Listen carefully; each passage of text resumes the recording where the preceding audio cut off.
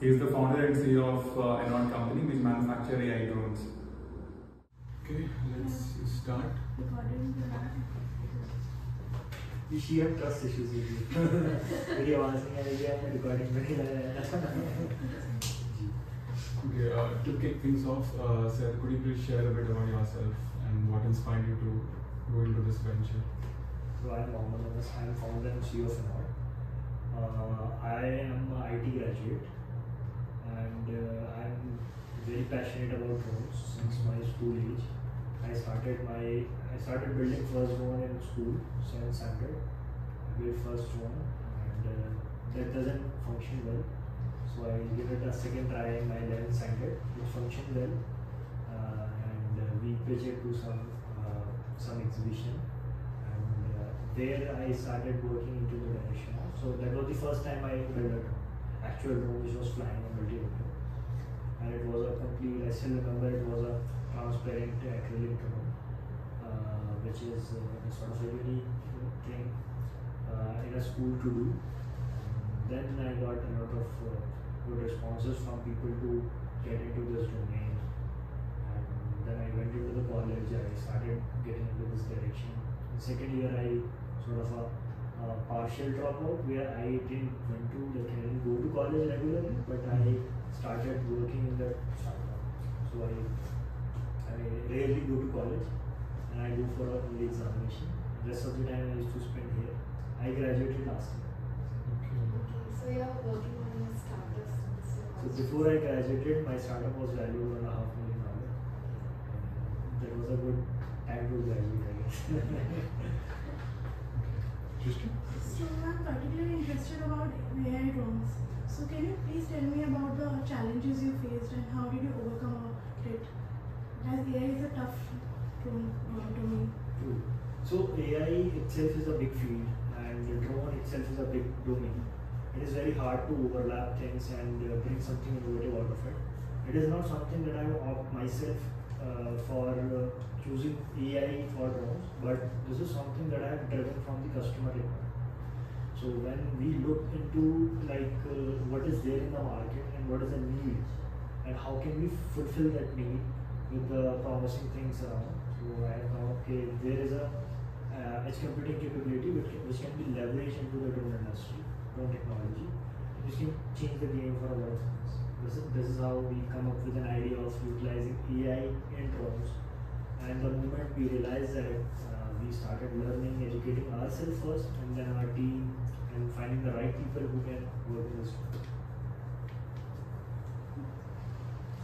So AI drones has a lot of potential and uh, I what basically I want to know what are the potential markets and what is tra- Enord is uh, targeting and also how did you came up with the name Enord? So uh, I'll take the second part first. How did I come up with the name Enord? Enord, uh, like we, I have another startup. I started with a different name, Elite SPM. That was the first name that we have come up. And the idea is to educate people about drones because in college we don't have money. Like Yes. we rarely have money. We don't have uh, like few lakh rupees in banks. We just have few hundreds and thousand rupees to start things. Anything if you want to test. So with that mo- amount you cannot do much. What the only thing that you can do is to educate someone about it and you can train people. You can get some consultancy or some small training cost. Okay. So I started uh, educating about drones and uh, we started generating revenue. We started conducting workshops, training programs, and that is how I become uh, like uh, a drone guy sort of thing. Uh, where people recognize me, and I used to come to Greater Noida. Some colleges are there, like Delhi Technical Campus. Some other engineering colleges are like one of the college in front of your college. It is uh, Wonderman. I visited there as well. There are different colleges. So we started training people and that is how I generated revenue. I started making money. Now with that money, because we don't have like uh, we're spending that money in somewhere else, we started investing that money into making some prototypes, some experiments that can help us, uh, you know, gain confidence ourselves. If we can build something uh, advanced for the use of customer or any particular application, and then we can leverage it for. So the first name was uh, not you know The first thing that I started with Elite Display. And it was an OPC company, one person, private limited company. I started myself. There was no co-founder, nothing like that. But I learned a lot for like for like first year, uh, uh, like starting of my second year, I incorporated this company. But then I realized that there are things that can be done better. So in the third, like fourth year, I think of creating a private limited company with partners, with uh, co-founders and uh, uh, it's, another story how I figured out my co-founder. So I got that co-founder, and then we started thinking of a better name, better entity, better uh, brand name. Then we uh, did a lot of brainstorming, and there is a uh, uh, process of uh, creating a brand identity. We uh, we try to follow that uh, process, and uh, with that steps, we have come up a lot of proposed names. One of the name was Enord. And uh, Enord word is opposite of drone. D R O N E. Okay, This this so unique itself. So some people think that Enord have, don't have any meaning. It's a like what is the meaning of Enord? Uh, but it is just we see it very differently. We see it in a different way. Like we are going to change the perspective of industry with this. And if you see the tagline of company, it's a creating ease. Yes. Creating ease. So which means that the vision of the company is mentioned in the tagline. So creating ease for phones. If you see the symbol of a uh, logo, it is driven from the one of the essential element of drone, which is uh, BLDC motor block. So it is a very small element, but without that, you cannot fly a drone because it is safety parameter. So it need to be there. So this is how we driven everything in the drafted things. Next question. Okay, uh, sir, could you uh, please share that how this AI drones can contribute to the defense sector of India? different sector of India. So there are a lot of potential application in India. Uh, the time have uh, come where India have to India is taking lead uh, somewhere in utilizing the this technology for the defense grade application. Uh, it is very easy to create something for a smaller application, but in defense, uh, the life is on which you cannot compromise with that and you, you need to have a promising solution. the solution is uh, 10 times more complex than a normal solution that we create for any industry or, consumer market. So defense market is really tough to crack, and but it is a bigger pie. Biggest pie is in defense. So uh, uh, defense like is uh, open for everyone, but it is hard to crack. Everyone can reach out, but no one can qualify. Hard to qualify. We are still in the process of you know reaching to the right stakeholders, uh, doing the demo and trials of our technology with them, giving the pilot, uh, giving the pilot uh, sort of a projects or uh, getting the pilot projects, doing some demo trials with them. The idea is to help them communicate how can we solve their problems with our technology. And there are few things that they have already recognized that a lot can do better with its technology. So, um, we want to delve more into the technical capabilities of the drones. So, what is the highest altitude it can reach? Okay, so as per DGC regulation, in India you cannot fly a drone more than 200 feet. Yeah. So this is the maximum altitude that you can fly at drone. And if you want to fly beyond it, you need certain permission.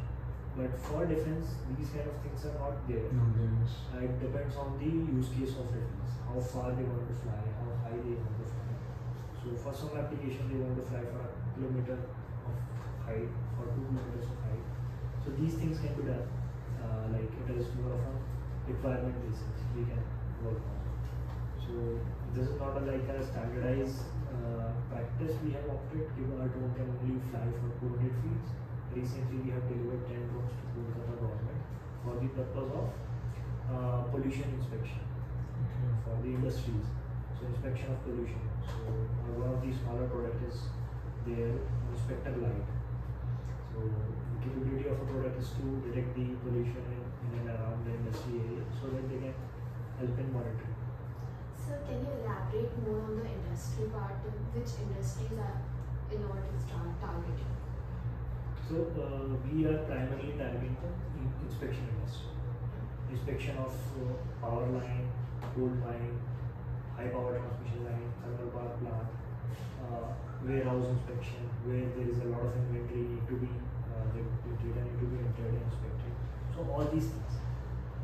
Before and not, there are companies already doing it. Why not come into the picture? There are cases where conventional drone cannot function.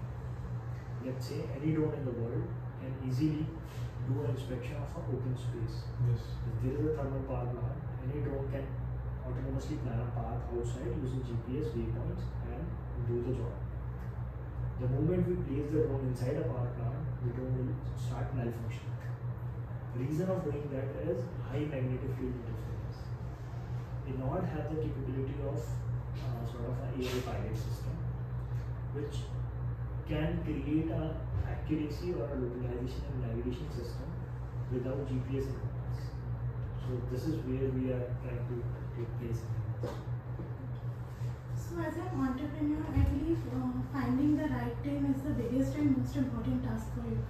So what challenges you faced actually during finding a team and uh, how do you keep yourself motivated as entrepreneur do face uh, failures? So what do you exactly do as a leader to you know motivate them and keep them? So for us, honestly, the motivation is not really which matters. We are going for motivation. Because if I am doing for a motivation, I would have done something else. Like I would have done like my uh, parents are asking for a masters in abroad or something like that. PhD from somewhere, going to London, this that. I, I could have opted that. Uh, I will be highly motivated for.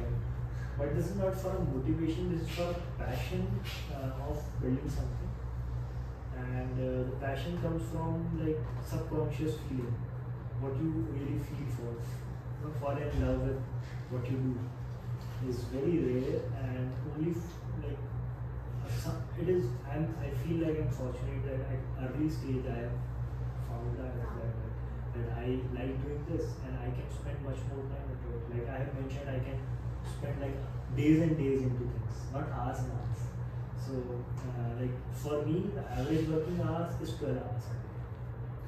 So, I have myself created agreement for a company where I have to give at least 10 hours a day. I have created the agreement for uh, company for myself, for my own company. So, that- so that you I- have yeah, for I have- For, for myself and my co-founder, that I have to at least give 10 hours to the company, at least At least. at least for six days. And I used to work on Sundays for like, there's no day like whatever I feel like if there's a genuine uh, requirement for an hour or two, I go out and fix that and come back. So, so this is more like uh, what you do and love doing, not like motivating. Sometimes you are really motivated when there are good results, and most of the times you are not. Most of the times you are not, because most of the times things are not in favor. And this is what entrepreneurship is. Uh, because we don't have a driven wealth, we don't have a driven business. Okay, there is some setup and we are most of the time happy and there are sometimes problems. No, this is reverse. So we are creating something from the problem, which is way different. Like uh, you are you are buying a problem to solve it. So, sir, there is always a concern about uh, radar detection. So, how safe is this AI drones from radar detection? radar detection. So, uh, this detec- detection technology uh, works for a certain category of drones, for a certain uh, certain range of drones, and uh, uh, for for particular scenarios. Let- Let's say uh, tracking a drone is easy with a with a with a let's say GPS based drones can easily be tracked. Yes. But if the drone is not emitting any signal, not getting a satellite data, for some reason, let's say I'm saying we have created sort of capability where we can localize and navigate using vision-based system, where we are not communicating anything with satellite not utilizing their data, which means that we cannot be, you know, traced for that particular reason. However, there are frequency modulation, like frequency utilization for the purpose of communication, the drone to the user, which can be tracked. In some cases, you can upload the mission, close the connection, and deploy the drone. That is also possible. So these kind of things cannot be tried. Few things can be tried. Anti-drone system is still in progress, in development globally, not only in India. And there are only few things which are successful for anti-drone systems. Few things are not successful for particular things. So, uh, normally, uh, normal drones they have a battery life of 15 to 20 minutes because of the high power motors. So, what is the battery life of your drones? So we are also using the multi-rotor system, which means that the power consumption is more or less the same. The average power consumption is like the similar thing. So we are getting a similar flight time, like uh, 20 to 30 minutes of flight time for the multi-rotor, which is an average thing in our industry. Yes, sir. Yes, sir. Yes, sir. So this is so so he's an advisor in our firm. He's an ex-executive director of BHE, Bharat Heavy Limited. So he's an advisor in my company for last few years. Also a mentor. So yeah, what you were Okay, so we won't take much time of yours. So as a college student, uh, we all like uh, most of us wanted to pursue entrepreneurship. So could you guys give some advice on how? Okay, so I will I will give sort of advice if you uh, like not to uh, do it by like someone is saying it or you have to do it. It is a subject or it is a matter of time that everyone is doing it. It is this is not in a FOMO, not a peer pressure or something like that. Th- This is uh, like actually coming to you something, then do it. If it, it is not coming to you, can give it a try, learn out of it. Don't uh, you know push yourself for anything, not for, only for entrepreneurship. Saying anything in your life, uh, it is not true for only entrepreneurship. Whatever you do, don't push a lot. Uh, like there are things that need to be pushed. Like your will, your will cannot be pushed Yes. So if you are, have a will or something, then push the efforts. कि मिल जाएगा कल मिल जाएगा ऐसा कोई। But if you don't have a will, don't push.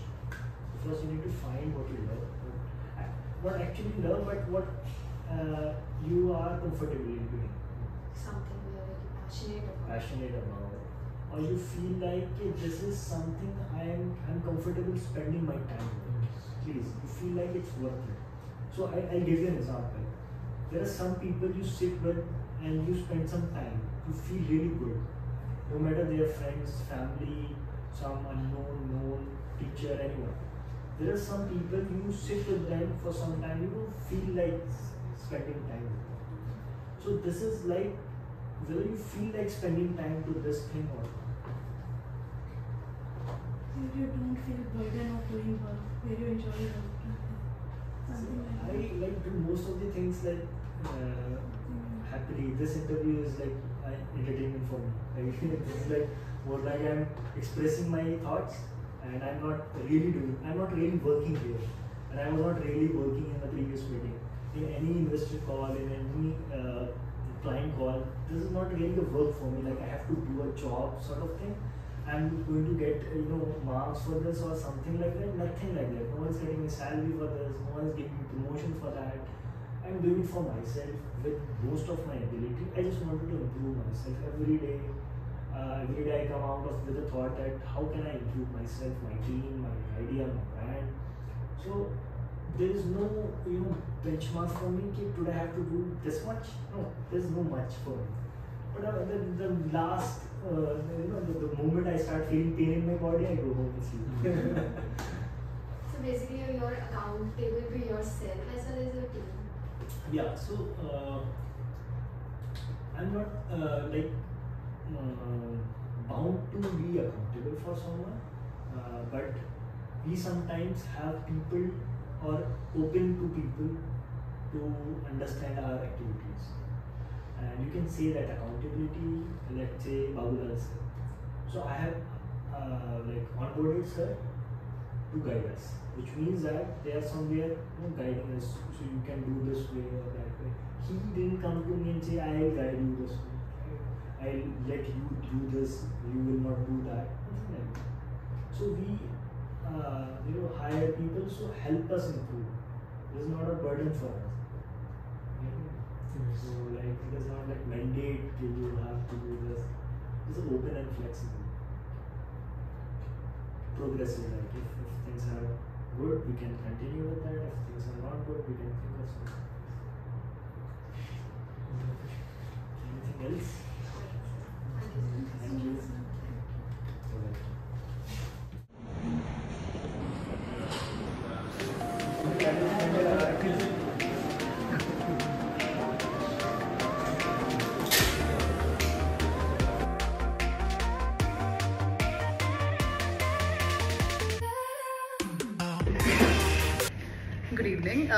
Group 7 and I'm Isha Srivastava. The entrepreneur we chose for our project is Mr. Mohammed Anas, promoter and entrepreneur of Enord Private Limited with the tagline of Creating Ease. The startup is into designing and developing drones that are capable of operating in confined spaces without GPS and human pilots using a new cutting edge technology developed at Enord. The technology will create ease in day-to-day operations generating insights and taking actions that does not rely on GPS. Mr. Anas is 25 years old and has completed his engineering in the year 2021 from Guru Gobind Singh Indraprastha University. He designed his first drone in class 7th, which was a failed attempt, but then after some setbacks, he did successfully in class 11th. Then he decided to continue with his passion um, with a partial drop from college and worked full time on his dreams. Then, okay. After some time, he pitched his idea and got funding from IIT Mandi. Uh, and after that, was given an offer by IIIT Delhi to set up his office and work on his idea further. During this all, he collaborated with his old BTech friend Mr. Zen and slowly added more and more people throughout. Well, the other promoters of Enord are as follows. Uh, MeitY Startup Hub, uh, Nvidia Inception Program, IIT Mandi Catalyst, SolidWorks, uh, IIM Kozhikode, IIT Mandi Hub, HCI Foundation, IIT Hyderabad, uh, Omira. Well, uh, Anas was simply into making drones, but uh, he did a market research and came to know that AI was the need of the hour and something new should come into practice. Hence, he mixed both of it. He created AI drones. Okay, um, and um, then after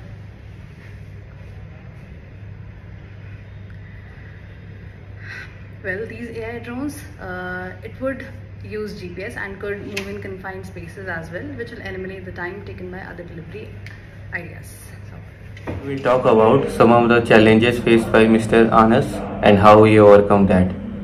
Starting a business is expensive and AI drones are even more so. Mr. Anas needed to raise a lot of money to develop the drones, build a team and market the product. Apart from that, developing the technology was also a task for him. AI drones are complex machine and it took, a lot of time and effort to develop the technology. Mr. Anas took a creative approach for raising his capital. He gave many presentations and got funding from IIT Mandi. He eventually was able to raise the money he needed to get the business off the ground. Uh, Mr. Anas was patient and persistent. He knew developing the technology would be challenge, but he was determined to make it happen. He eventually developed a cutting-edge AI drone which was capable of performing complex tasks. Thank you. So, after interviewing Enord CEO, I feel the traits that are essential for an entrepreneur are as follows. First and foremost is motivation.